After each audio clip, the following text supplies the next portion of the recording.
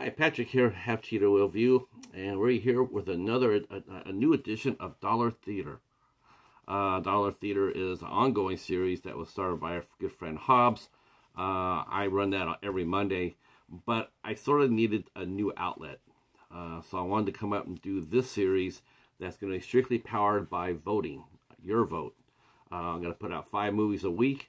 You guys vote on them. Whoever wins gets to get voted, gets to get reviewed. Uh, and I have a lot of movies, so this this series will probably go on as long as I can go. Uh, I'm going to look forward to this. Uh, I, I, really enjoyed doing the voting aspect of, of, of Dollar uh, Dollar Theater. I did it for a while on the on the original series, but one of the things was was I put four movies and then I would put Cheetah's Choice. And a lot of times, Cheetah, everybody wanted to see what Paladin was gonna was watching during the week, which is really cool uh, uh, so that's what we did. We just slid on over, and, and now we do uh, what pretty much what the cheetah picks out uh, every Monday. But I wanted to go back and do voters um, voting again because that was a lot of fun too. And this time I learned my lesson.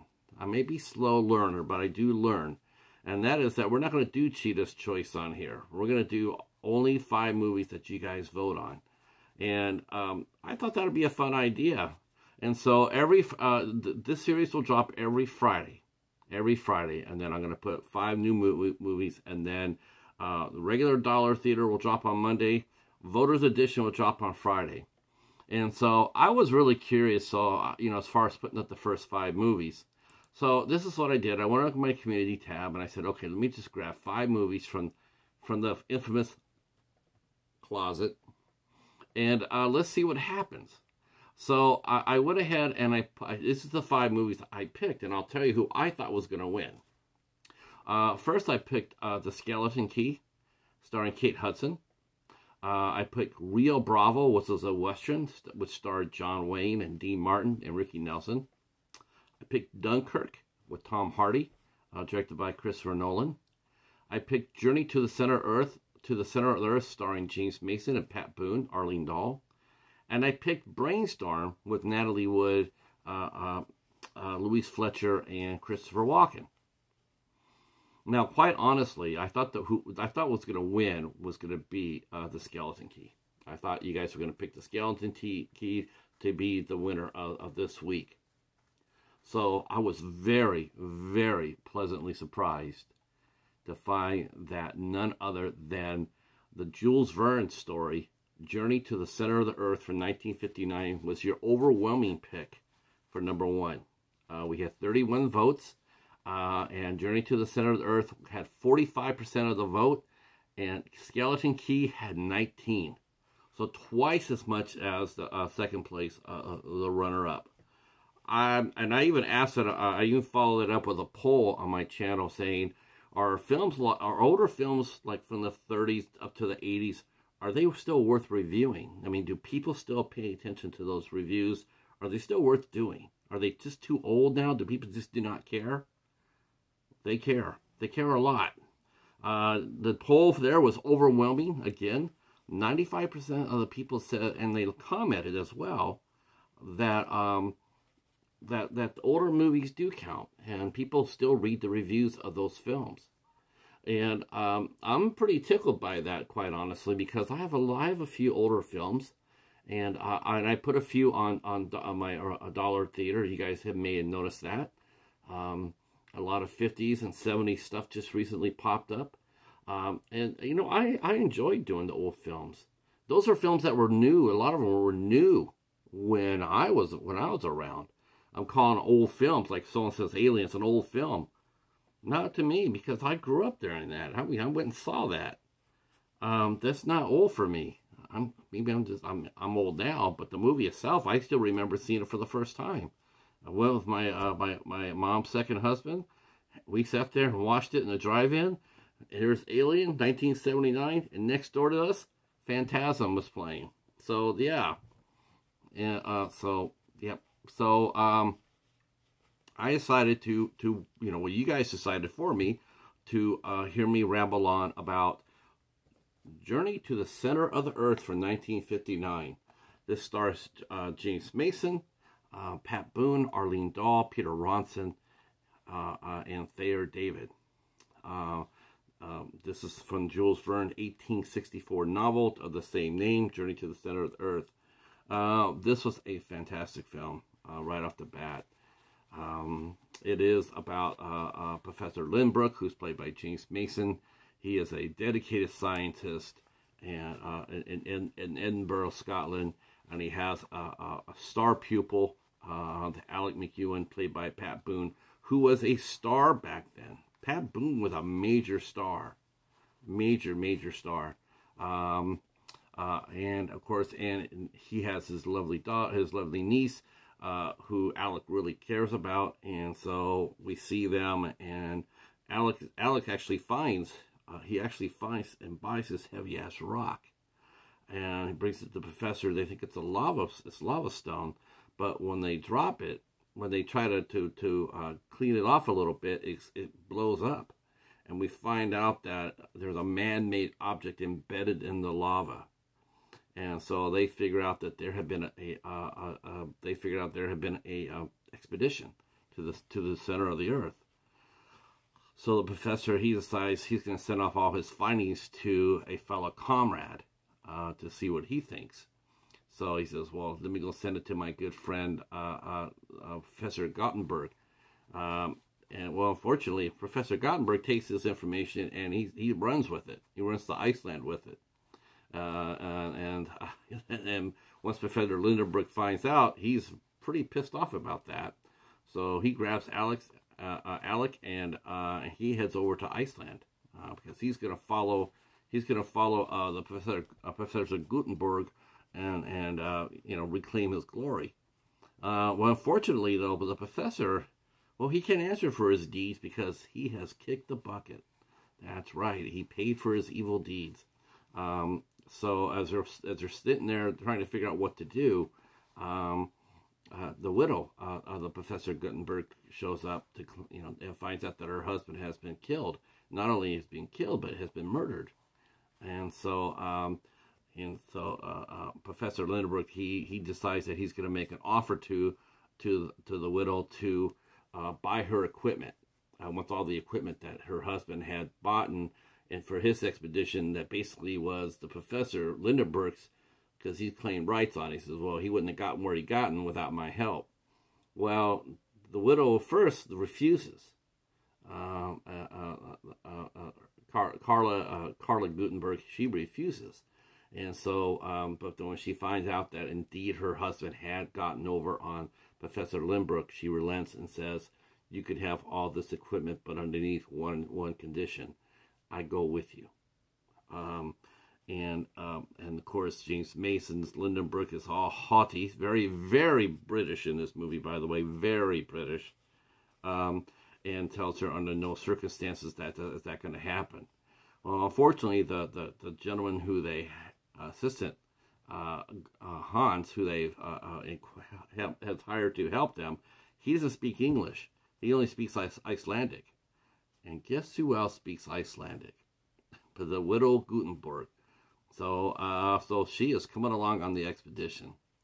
So, um, what they don't know is the original, the original person who had put the man-made object into the lava flow was from the uh, Saracenian family. It was the, the original explorer, and his relatives have been have been uh, uh, have been laying in wait all this time trying to reclaim his glory.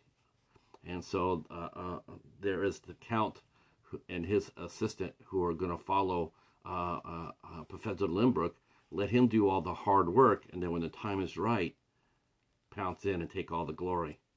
Uh, so the the the, the travelers they they go into the center of the earth. they start to trail downward. There's various dangers that could happen on the trails fall apart, um, they get separated, there's creatures, um, uh, uh, uh, there's there's um, whirlpool, there's all sorts of wild adventures in, in, in, this movie for, for our explorers.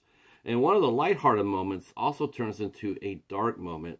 And one of the lighthearted moments is that Hans has a pet duck named Gertrude. And Gertrude follows, you know, follows them. That's their pet. He's, he's the mascot. Well, as they go on down down uh, down into the you know down into the earth, they do run across the Count uh, uh, uh, Secrucian.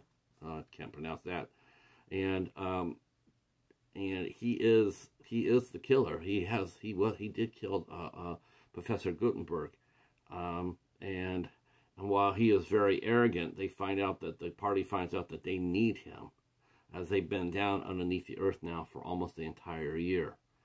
Um, after another close call, though, um, well, they're a little bit hungry, and Gertrude is a Gertrude is a duck, so you can pretty much guess what happens there. Um, it's probably the only true one serious moment in the movie. It's pretty, it sucks, um, and um, but that's you need we needed that because that leads into the final act of the film, which you will need to see to find out what happens. Like I said, though, this is a fantastic film directed by Harry Levin, who was a tremendously gifted uh, director, uh, directed tons of hits. Um, the music was scored by Bernard Herrmann. That's right, Bernard Herrmann. You probably have heard me mention him before. Uh, he did a lot of uh, he did a lot of scores, including uh, North by Northwest that we talked about on here. Uh, uh, so he also did that. This was supposed to be uh, this movie was supposed to be sort of like a highlight for Pat Boone, as they were going to feature him singing four or five songs. But once they watched it and saw how the songs pretty much interrupted with the flow of the movie, they they removed it. He only got to sing one. He only got to sing one movie before they went exploring. Um, this movie was a big hit. It was made for three million dollars. It grossed over ten million dollars, which is pretty huge. Um, there were a little bit of clashes on the set. Um, Arlene Dahl and James Mason sometimes butted heads. Uh, there's a key scene uh, where uh, they're in a whirlpool and um, and they're being water's being thrown on them, and they're going around and around, and she got sick from it, and she she was screaming, and she James Mason's like, you know, just calm down, you know, it's not that serious. Well, it really turned out to be pretty serious because Arlene Dahl passed out. Uh, she was knocked unconscious for about 40 minutes. Uh, if the name Arlene Dahl means something to older fans, uh, yes, Arlene Dahl is uh, was a good was a very good actress actually, but she's probably more well known for two other things. One, uh, uh, to tell the truth, she was in to tell the truth and What's My Line. She did a lot of What's My Line and To Tell the Truth, and she's also the mother of Lorenzo Lamas, who, who, played Reno Raines in Renegade. That's right. Now, there have been several instances of this movie being made over and over and over again. Um, a lot of people come, you know, it seems like every other, uh, every 15 or so years, they come together and they make it. Even even the Asylum got into the act with a, with a version, a very loose version of Journey to the Center of the Earth. Um, there's also another show that I mentioned before that is basically is based off the Jules Verne uh, novel as well, and that is the TV series The Lost World. This is based on Journey to the Center of the Earth. And um, so it's a very popular story, and um, I really enjoyed this one. Like I said before, it was nominated for three Oscars for the effects. The effects are pretty, pretty cool. Yeah, they're a little bit dated by today's standards, of course, but uh, um, but tell you the truth, they were all practical all practical. They shot on on a they shot some scenes on a stage, and they also went to the Carlsbad Cavern, which is very very famous, and they shot a lot of scenes there as well. Um, so overall, I, I, really enjoyed this film. Uh, I'm glad you guys picked it. You guys surprised the hell out of me for sure, uh, picking uh, Journey to the Center of the Earth. I really didn't think I didn't think it or Rio Bravo had much of a chance, but I wanted to throw it out there. And then, um, yeah, um, this is a lot of fun. So uh, I will be putting up the next poll here as soon as I get this uploaded. Uh, I'm going to go ahead and flash the next poll, and you guys can start voting all over again. And by all means, let me know in the comment section below what you think of this concept. I mean, do you like the idea of voting? Uh, which I hope you do, because I have a lot of. I like, I like, especially when you guys drop comments. Um, you know, like, well, that was a cool movie. That's a good one to pick. You know, I want to pick that one. That really, that's really fun. So just trying to get something going on the channel, something a little bit different. Uh, I know it's familiar, but you know we'll see where it takes us. And like I said, I have I have I have a lot of um, I have a lot of things to, to, to talk about. We have a lot of movies to go. Um, and they, yes, and they are still all under a dollar twenty-five. We are keeping the dollar theater, um, but it's everything you see me you see here being voted on is a dollar twenty-five or less. So my budget baller status is secure. All right. Well, thank you for watching. If you're new to the channel, please consider consider giving us a sub. Drop a comment down below. Hit the notification bell uh, for, so, so you know when I do rambles long like this. And uh, we'll talk soon. Peace.